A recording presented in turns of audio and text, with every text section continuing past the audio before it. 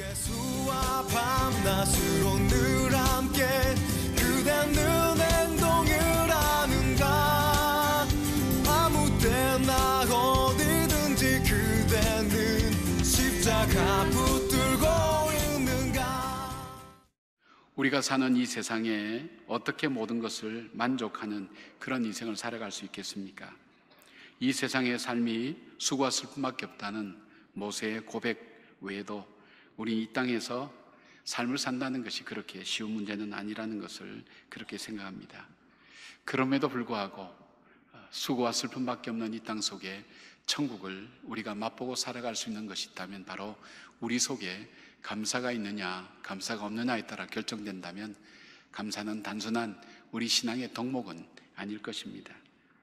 그것은 감사에 의해서 이 모든 것이 바뀌어진다면 바로 이 감사는 우리의 생명과도 같은 것인 것을 알게 됩니다.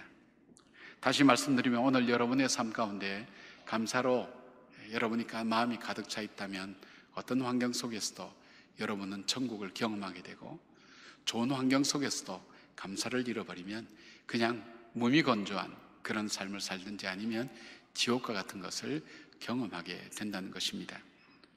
오늘 시편 100편, 20편 기자는 예배하러 올라가는 분들이 1절부터 3절까지 그들이 찬양하면 4절, 5절은 화답하는 그런 찬양이기도 합니다. 그리고 그들이 찬양하는 그 삶의 주제가 바로 감사였습니다. 그 감사는 하나님으로 인하여 오는 그 감사였다는 것을 보게 됩니다. 저들이 하나님께 감사하며 찬송할 수 있었던 이유가 뭘까요? 저들이라고 지금 우리가 살아가는 삶보다 행복했겠습니까? 인생의 어려움과 힘들고 지침이 많음에도 불구하고 저들이 감사함으로 하나님께 예배로 나갈 수 있었던 그 이유가 무엇일까요? 오늘 우리가 함께 어려움 중에도 힘든 중에도 감사해야 될 이유를 바로 저들의 찬송에서 우리가 함께 찾아보도록 그렇게 하겠습니다. 저들이 찬송했던 첫 번째 이유는 하나님께서 우리의 창조주가 되신다는 것이 그들에게는 찬송의 이유였습니다. 3절 말씀 보니까 그는 우리를 지으시니요 그렇게 되어 있습니다. 바로 우리 하나님께서 이 세상을 창조하신 하나님이라는 것이 우리가 하나님께 감사를 드려야 될 이유가 된다는 것입니다. 하나님께서 이 세상을 창조하신 살아계신 하나님이라는 이 고백과 감사는 하나님을 너무나 기쁘시게 하는 찬양입니다. 히브리서 11장 6절 보니까 믿음이 없이는 하나님을 기쁘시게 하지 못하나니 하나님께 나가는 자는 반드시 그가 계신 것과 그가 자기를 찾는 자들에게 상 주시는 이심을 믿어야 할지니라. 우리가 하나님께 감사하며 찬양하는 이것이 자연스럽게 하나님의 살아계심과 하나님 우리의 창조주 되심을 고백하는 고백이 된다는 것입니다. 시편 37편 4절 보니까 또 여호와를 기뻐하라 그가 내 마음의 소원을 내게 이루어 주시리라고 말씀하셨습니다. 우리가 우리의 자녀들과의 관계 속에서 가장 기쁨을 맛볼 때가 언제입니까? 자녀들이 우리에게 잘해주는 그 어떤 것보다도 그 자녀들이 엄마 아빠를 인정하고 그 존재를 감사할 때 바로 그때야말로 우리가 살아가면서 가장 기쁨을 느낄 때가 아니겠습니까? 하나님을 찬양하고 하나님 우리의 창조자 되신다는 것을 감사하며 찬양할 때 하나님께서는 영광을 받으시고 또 하나님께서 우리 마음의 손을 이루어 주시는 축복으로 우리의 삶을 인도해 가신다는 것을 보게 됩니다. 최근에 영남신학교에 오기훈 총장님이 전 그 책 중에 감사의 일곱 가지 언어라는 책에 보면 이런 글이 나옵니다. 감사가 신앙생활에 너무나 소중한 것인데도 왜 이 감사는 성령의 아홉 가지 열매에도 없고 산상수훈 팔복에도 나오지 않고 베드로후서에 나오는 신의 성품을 표현한 것도 없을까 하는 의문을 가지고 감사에 대한 연구를 시작하게 되었습니다. 그리고 신학, 성경을 연구하고 묵상하는 가운데 감사라고 하는 것은 오랜 훈련이나 연단을 통해서 만들어지는 성령의 열매나 신의 성품도 아니고 팔복과 같은 깊은 깨달음의 영성도 아니라 감사는 하나님께서 우리를 창조하실 때 우리에게 장착시켜 주신 우리의 마음 속에 우리 심령 속에 장착시켜 주신 하나님의 선물이라는 것을 그는 발견하게 됐습니다. 감사는 하나님께서 인간을 창조하실 때 하나님의 형상을 따라 지음받는 우리 안에 하나님께서 심어 주셨고 하나님께서 감사를 통해서 우리가 인생을 살아가도록 그렇게 만드셨습니다. 그러나 이 감사는 인간이 타락한 후에 우리의 삶에서 사라지기 시작했습니다. 감사가 사라지면서 죽음과 생명, 생명을 잃어버린 삶이 바로 우리 삶 속에 찾아오게 되었다는 것입니다. 이 모든 만물을 만드시고 우리에게 주시면서 선물로 주시면서 생육하고 번성하라고 말씀하신 주님. 우리를 축복하신 주님 모든 것 만들어 놓고 우리에게 다 주시면서 생육하고 번성하라고 주신 그 주님 앞에 우리 피조물인 인간이 제일 먼저 반응해야 될 그 반응이 감사라는 것입니다. 하나님 우리에게 모든 것 준비해 주시고 우리에게 마음껏 선물로 주시니 감사합니다 하는 그 감사가 우리가 드려야 될 가장 기본적이라는 것입니다. 따라서 감사의 상실은 우리 삶의 믿음의 상실과 결핍이라는 것을 말씀하고 있습니다. 하나님의 베풀어 주신 은혜로 모든 것을 누리며 살아가는 응답이 감사입니다. 우리가 감사할 때에 그의 문에 들어가서 하나님의 창조하신 온전한 세계 속으로 초청받게 되는 것입니다. 예, 오총장님은 책에서 재미있는 예를 들고 있습니다. 텍사스 주립대학교 MD 엠더슨 암센터에서 31년간 어, 연구하신 김어신 박사님이 교회 성가대원과 일반인들의 세포를 비교하는 실험을 했는데 성가대원들에게 면역세포인 NK세포가 일반인들보다 천배가 많다는 것입니다. 사실 이분이 연구한 것은 기도와 이렇게 기도와 저 뭡니까 치료의 관계성에 대한 부분을 연구하던 중에 이런 부분을 차지하게 되었습니다. 성가대에서 부르는 찬양 속에 하나님을 송축하고 찬양하고 감사하는 그 마음이 들어 있다면 바로 그 속에는 하나님께서 창조할 때 우리에게 주셨던 그 생명의 회복력이 우리에게 있다는 것입니다. 바로 우리가 찬송할 때, 우리가 찬양할 때, 하나님께 감사할 때, 우리에게 하나님께서 주신 그 생명력이 회복되고 치료가 되고 또 하나님 앞에 우리의 마음이 감사함으로 나갈 수 있는 놀라운 기쁨을 허락해 주신다는 사실입니다. 따라서 감사는 하나님 앞에 서는 기본 자세면서도 세상을 살아가는 최고의 지혜와 능력이 되는 것을 보게 됩니다. 하나님을 자기의 하나님으로 섬기는 자가 받는 복을 감사함으로 올려 드릴 때에 감사는 우리 삶의 모든 문제를 풀어가는 열쇠가 되기도 하고 우리의 모든 감정 속에 우리로 하여금 바른 길을 걸어가게 하는 길의 길잡이가 되는 것이 바로 이 감사 속에 있다는 것을 기억하면서 여러분 일상생활 속에서 어떤 환경 속에서도 하나님께 감사하는 그 고백들이 자주 올려 드려질 때에 하나님을 기쁘시게 하며 하나님의 존재를 인정하며 하나님이 인도하시는 그 놀라운 은혜 앞에 믿음으로 응답하는 여러분 속에 감사하는 백성에게 주신 하나님의 축복이 임하기를 주의 이름으로 축원합니다. 두 번째 우리가 감사해야 될 두 번째 이유는 하나님께서 우리의 왕이 되시고 우리의 목자가 되시기 때문에 우리가 감사해야 된다는 것입니다. 3절 말씀 보니까 우리는 그의 것이니 그의 백성이요 그의 기르시는 양이로다. 그렇게 그들이 찬송하면서 감사합니다. 그 하나님 우리를 구원하시는 구원자이시기 때문입니다. 하나님 우리의 구원자 되시고 우리를 하나님의 백성과 자녀로 삼아 주신 것이 감사해야 될 이유라는 것입니다. 왜냐하면 우리는 하나님의 백성과 자녀로 창조함과 지음을 받았지만 우리는 그 자격을 죄를 지음으로 상실해 버렸습니다. 하나님 없이도 우리는 살아갈 수 있고 하나님 없이도 우리는 행복할 수 있다는 그런 사단의 꼬임에 빠져서 우리는 하나님과 관계를 끊어버렸습니다. 그리고 하나님께로부터 우리는 멀어지게 되었습니다. 하나님께로부터 오는 모든 공급함과 풍성함이 우리에게는 결핍과 아픔과 고통과 죽음으로 우리의 삶 속에 다가오게 됐습니다. 쉽게 말씀드리면 하나님, 우리는 하나님을 배반하고 불순종하며 우리 마음대로 살겠다고 하나님 주신 그 축복을 우리는 스스로 차버리고 나온 것입니다. 그럼에도 불구하고 하나님께서는 우리 인간을 그 사망 가운데 살도록 머물러 두지 아니하시고 하나님에 있는 자비와 긍휼과 사랑과 풍성함을 통해서 바로 그 예수 그리스도를 보내 주셔서 십자가에 못 박아 죽게 함으로 우리를 우리의 지위와 우리의 축복의 그 자리를 회복시켜 주셨습니다. 여전히 우리를 포기치 않고 하나님의 자녀 삼아 주셨고 하나님의 백성으로 삼아 주신 그 하나님의 놀라운 은혜에 우리는 감사함으로 응답하며 찬양하는 것이 마땅하다는 것입니다. 베드로처럼 하나님께서 맡겨주신 모든 큰 사역을 실패로 무너뜨려도 예수님께서 재판받는 절체절명의 위기 가운데서도 예수님이 보는 앞에서 예수님을 부인하는 배신자가 되어도 예수님은 그 베드로를 받아주셨고 여전히 자녀로 삼아주시고 그의 백성으로 삼아주시는 그 국률과 자비와 사랑으로 인하여 우리는 하나님께 찬양해야 된다는 것입니다. 세상은 나의 신분이 바뀌면 자격을 바꿉니다. 나의 소유가 바뀌어지면 나의 위치도 바꿔버립니다. 나의 역할이 달라지면 대우도 바뀌어집니다. 세상은 조건이나 상황에 따라 대하는 것이 달라지지만 하나님께서는 언제나 어디서나 우리가 무엇을 하든 어떤 상황 속에서 우리를 하나님의 자녀 삼아 주시고 하나님의 백성 삼아 주신다는 변치 않은 하나님의 그 놀라운 은혜를 찬양하며 감사하는 이유가 바로 여기 있다는 것입니다. 바울은 로마서 8장 38절 39절에 이렇게 말씀합니다. 내가 확신하노니 사망이나 생명이나 천사들이나 권세자들이나 현재일이나 장래일이나 능력이나 높음이나 기품이나 다른 어떤 피조물이라도 우리를 우리 주 예수 그리스도 예수 안에 있는 하나님의 사랑에서 끊을 수 없으리라. 히브리서 13장 5절 보니까 내가 결코 너희를 버리지 아니하고 너희를 떠나지 아니하리라 하셨느니라. 우리를 주님의 것이라고 주님은 말씀합니다. 제임스 보이스 목사님은 이 말씀을 주석하면서 이렇게 표현했습니다.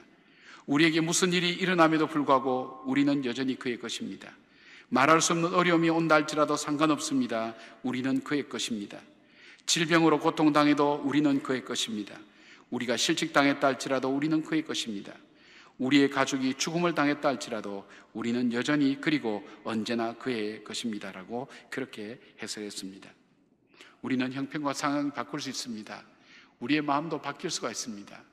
그러나 하나님은 한 번도 우리를 부인하지 아니하고 한 번도 포기하지 아니하고 하나님의 자녀됨과 하나님의 백성됨의 그 지위와 그 관계를 끝까지 붙드시고 함께 하시는 그 일들 어쩌면 주님의 그 사랑이 오늘 우리를 여기 있게 했고 주님의 그 은혜가 우리로 하여금 예배 드릴 수 있도록 은혜의 보좌 앞에 담대히 나올 수 있게 한 그 놀라운 사실들을 우리가 돌아보면서 그 하나님께서 나의 목자가 되어 주시고 우리가 하나님의 백성됨의 그 놀라운 은혜를 감사하며 찬양하는 것이 마땅한 것이라는 것입니다.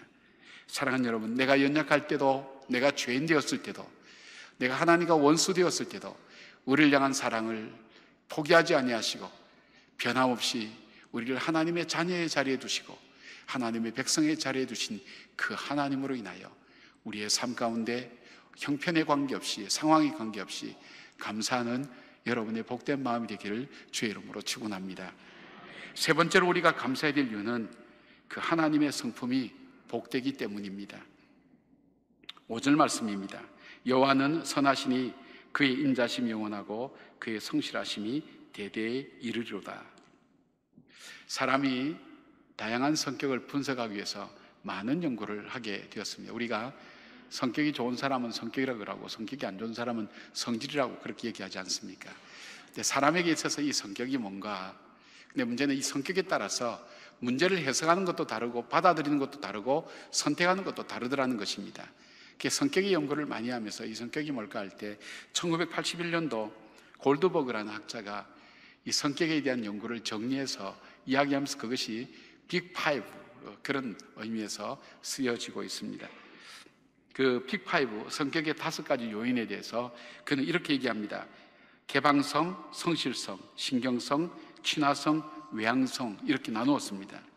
개방성이라는 것은 자신을 둘러싼 세계에 관심이 많으며 변화와 다양성을 좋아하는 그런 성향을 성향의 정도를 가지고 평가한 겁니다. 성실성은 신중함과 책임감 그리고 인내심과 원칙을 고수하는 성향을 이야기합니다. 신경성은 정서적으로 안정되어 있는 정도가 어떤 정도인지 예민함과 섬세함을 의미합니다. 친화성은 이타적이고 타인을 신뢰하며 편안하고 조화로운 관계를 유지하는 성향입니다. 외향성은 타인과의 상호작용을 원하고 에너지의 흐름이 외부나 내부로 어디로 흐르는지에 따라서 결정하는 예, 요소가 됩니다. 말씀드린 것처럼 사람은 이것에 따라서 문제를 어떻게 받아들이고 해석하고 행동하는 것이 다르다는 것입니다. 우리가 사람을 대할 때 그 사람의 성격을 봐서 대하지 않습니까? 아, 유난히 예민한 사람이 있고 유난히 개방적이고 친화적인 사람이 있는 반면에 폐쇄적인 사람도 있고 다양한 성격을 가진 사람을 대하는데 이 사람이 그 성격에 따라서 그 문제를 풀어가고 사람을 대하고 또 자기가 느끼는 감정이 각각 달라진다는 것입니다. 이 성격이 참 복된 것이 얼만큼 귀한 것인가 하는 생각을 많이 해봅니다. 바로 우리 신앙의 성령의 열매 아홉 가지 열매는 바로 인격과 성품의 변화가 바로 여기에 있습니다. 성품이 온유하고 성품이 복된 사람이 얼마큼 귀한 것인가 하는 것을 보게 됩니다. 그런데 그 하나님의 성품이 어떠냐 이겁니다. 그 하나님의 성품을 오늘 시편 기자는 이렇게 합니다. 그 하나님은 선하시다. 하나님 인자하시다. 하나님 성실하시다. 그 하나님을 맛보아 알으라 그랬어요. 이 하나님의 성품에 우리가 얼마나 감사하며 그 이름을 송축해야 될 이유가 여기 있다는 것입니다. 하나님의 선하심이라는 것은 어떤 의미일까요? 이 선하다는 말은 토브라고 그렇게 하는데 이것은 그분 존재 자체가 선하고 그리고 복된 것을 말합니다. 즉 자기 백성을 향하여 한결같이 선하고 아름다운 일을 베푸시는 분이라는 것입니다. 하나님 인자심은 하스도라고 하는 이게 원형은 헤세드입니다. 이것은 뭐냐면 하나님의 사랑은 언약의 근거에서 베푸시는 사랑이라는 것입니다. 하나님은 변덕 부르시는 하나님이 아닙니다. 하나님은 자기가 언약한 것을 지키고 인간이 언약한 것을 어겨도 포기하지 않고 그 언약이 이루어지도록 하나님께서 그 일을 만드셔서 하나님께서 그 언약을 끝까지 지키시는 분이라는 것입니다. 우리가 배반하여 하나님을 떠났을 때도 하나님은 진노하면서도 잊지 않고 기억하시사 그 언약의 자리로 다시금 우리를 돌아오게 하시는 그분이 바로 하나님이라는 것을 말씀하고 있습니다. 하나님의 성실하심, 이거는 에모나토라는 이 단어는 에모나라고 하는 것은 진실되고 신실하여서 상대방이 굳게 신뢰할 수 있는 성격을 말합니다. 회개하고 그의 성심을 따라서 성실하심을 따라서 하나님께 간구할 때 아무리 큰 죄와 무거운 어, 죄짐을 진다 할지라도 하나님께서는 그의 간과는 설을 들으시고 응답하시고 불쌍히 여기셔서 하나님 언제나 우리의 삶을 평안하고 복되게 인도해 주신다는 사실입니다. 바로 그 하나님은 의지할 만한 대대로 의지할 만한 변치 않은 분이라는 것입니다. 하나님의 이러한 성품이 어디에서 가장 많이 나타났습니까? 바로 십자가에서 나타났습니다. 결국 우리는 우리 길로 가고 우리는 결국 멸망 길로 갈 때 하나님 우리를 그냥 그 자리에 멸망 가운데 두지 않고 우리를 회복시키기 위하여 자기 아들 십자가에 못 박음으로 우리를 원래 하나님의 자녀와 백성의 자리에 세우셨고 우리의 언약하신 약속 우리는 배반하여 돌아간다 할지라도 하나님 그 언약의 약속이 이루어지도록 우리를 원래 그 자리 하나님의 자녀와 백성의 자리에 회복시킬 뿐 아니라 크고 작은 일을 만나면서 지치고 힘들고 우리가 멀어질 때에도 우리에게 더 가까이 오셔서 우리의 삶을 인도해 가시는 그 하나님 얼마나 아슬아슬한 순간들이 많았는지 하나님께서 그 이루어 가시는 하나하나 과정들을 돌아볼 때 내가 연약할수록 하나님이 더 크고 놀라운 하나님의 은혜로 나를 붙들어 주셨다는 것을 고백하게 됩니다. 가을은 우리에게 결실의 계절입니다. 그러나 그 결실의 계절과 더불어서 우리에게 비교되어서 찾아오는 마음은 나는 아무것도 한것 없이 바로 세월만 지나갔구나 하는 허전함과 허무함이 우리의 삶을 찾아올 때가 얼마나 많은지 모릅니다. 어쩌면 나는 이 한 해에 너무나 귀한 것들을 많이 잃어버렸다는 상실감이 우리의 마음에 찾아올 때도 참 많습니다. 저에게도 그런 삶이 있었습니다. 어, 저희 가장 소중한 일들. 저는 그래서 11월 달을 별로 좋아하지 않습니다. 11월, 10월, 12월. 제 인생의 어려운 일들, 소중한 것 다 잃어버린 것은 11월, 12월, 가을과 겨울을 거치면서 제게는 매년 그리고 지금까지 살아온 삶 동안 수많은 어려움이 제 속에 있었습니다. 그것이 저에게는 굉장한 아픔이었습니다. 하나님께 그런 질문을 자주 했습니다. 하나님, 저는 가을과 겨울을 참 좋아했는데, 이젠 가을과 겨울이 싫어요. 제게 이 가을과 겨울에 주신 아픔이 뭐예요? 그런 어느 날 제 마음속에 그래서 11월 달에 너 딸을 주지 않았니? 하나님 교음성을 들었습니다. 저도 놀랬습니다. 한 번도 생각해 본 적이 없기 때문입니다. 하나님 앞에 회개했습니다. 나는 몰랐지만 어느새 내 삶 깊숙이 나와 함께 하신 하나님, 내 아픔을 위로하고 계셨고, 내 고통을 알고 계셨고, 나를 붙들고 계셨고, 나와 한 걸음 한 걸음 동행하고 계시다는 그 사실들이 성경에 나오는 말씀들이 단순히 이들이 말하는 성경만이 아니라 그들이 하나님을 만나고 하나님을 체험하면서 하나님과 경험하면서 고백했던 그것을 찬양으로 올려드리며 감사함으로 올려드리는 이들의 말씀들이 단순한 고백이 아니라 하나님을 만난 사람들, 하나님의 성품을 접한 사람들, 그 하나님에 대한 고백이었다는 것을 알게 됐습니다. 우리가 잘 아는 찬송가 중에 주 안에 있는 나에게라는 찬송가가 있습니다. 이 찬송은 엘리자 에드먼드 히윗 여사가 쓰게 되었습니다. 그는 1887년도 주일학교에 교사를 하고 있었습니다. 그 자기가 맡고 있는 학생 중에 불량 소년이 있어서 그 불량 소년을 잘 위로하기 위해서 그 아이와 함께 복음을 전하고 있는 사이에 이 아이는 잘 받아들인 것 같더니 갑자기 성격이 드러나기 시작하면서 밖으로 뛰쳐나가는 그 아이를 잡으러 가는 그 선생님에게 지붕에 있는 큰 스레트를 깨뜨려서 그 선생님의 허리를 내리쳤습니다. 한순간에 흰 여사는 바로 병원 신세를 질 수밖에 없었습니다. 척추에 심각한 손상을 받아서 그는 대소변도 받아내면서 석고보도로 이 석고붕대로 자기 허리를 감고 꼼짝하지 못하면서 병원에 누워있는 신세가 되었습니다. 하나님 앞에 많은 원망이 있었습니다. 하나님, 오히려 저를 지켜주셔야죠. 제가 저 아이를 바로 살리기 위해서 하나님 말씀으로 살리기 위해서 찾아갔던 나에게 찾아온 것은 결국 이 불금입니까? 제 스스로 대소변도 가리지 못하는 그리고 움직이지 못하는 이 아픔과 고통 속에 나날이 살아야 됩니까? 그 마음속에는 깊은 어려움, 다시는 희망이 없다는 그 사실들이 그로 하여금 절망으로 몰아가며 우울증이 찾아오게 되었습니다. 굉장히 사람들에게 신경질적으로 반응합니다. 어느 날 그 병실을 청소하러 오는 한 자매가 흥얼거리면서 그 청소를 하는 겁니다. 그 노래 소리도 신경질이 났습니다. 청소부 주제에 청소는 하지 무슨 노래를 부르냐고 그랬더니 이 청소부는 미소를 지으면서 이렇게 얘기했습니다. 예, 하나님은 저의 모든 형편과 사정을 잘 알고 계셔서 이 모든 상황을 저에게 찬송으로 바꾸어 가는 법을 가르쳐 주셨습니다. 그 하나님이 나에게 그 상황을 바꿔가는 그 은혜를 주셨는데 제가 어찌 즐겁지 않습니까?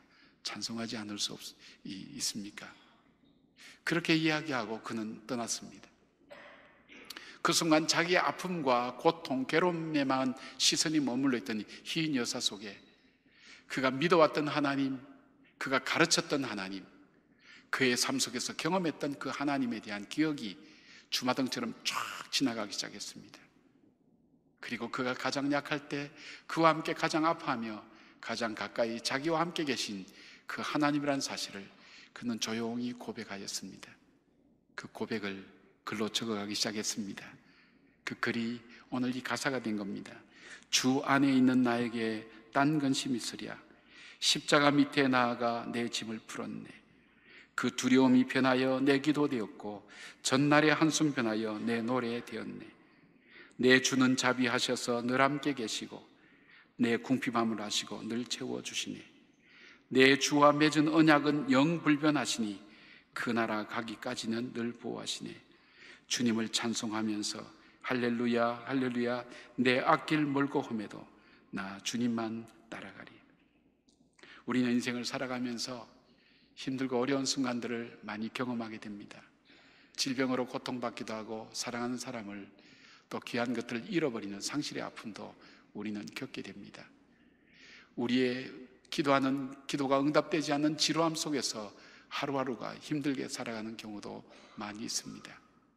그러나 우리가 다시 잠깐 우리의 문제에 눈을 떠서 하나님을 향해 볼 때 그 하나님께서 나를 지으시고 이 모든 것들을 나에게 주셨다는 사실 그리고 그 하나님이 여전히 나의 하나님이 되셨고 나는 그의 백성과 자녀가 되셨고 나를 그의 자녀 삼아 주셨다는 크고 놀라운 일들. 그리고 그 하나님은 선하시고 인자시고 자비로우시고 길이 참으시고 나를 붙들어 주셨다는 그 놀라운 고백들을 우리는 분명히 찾아볼 수 있을 것입니다. 10월은 11월은 살아온 우리 2019년 한 해를 다시 볼 때 하나님의 역사심의 관점에서 우리의 삶을 다시 정리하는 날이기도 합니다. 힘들게 살아왔던 이 1년이 하나님의 관점에서 다시 돌아볼 때 여전히 내 곁에 계시고 나와 함께 하셨던 그 주님. 그 주님과 맺은 언약은 불변하시기에 나를 포기치 않고 붙들어 주셨고 여기까지 오게 하셨던 때로는 보이게 보이지 않게 내 삶을 인도해 주셨던 그 하나님 계시다는 사실을 기억하면서 이제 한 해를 정리할 때 감사함으로 돌아보며 감사함으로 미래를 열어가는 하나님의 창조의 회복이 저와 여러분 속에 감사하는 우리 입술 속에 우리의 삶 가운데 증거되고 나타나는 그런 시간 되기를 주의 이름으로 축원합니다. 아멘.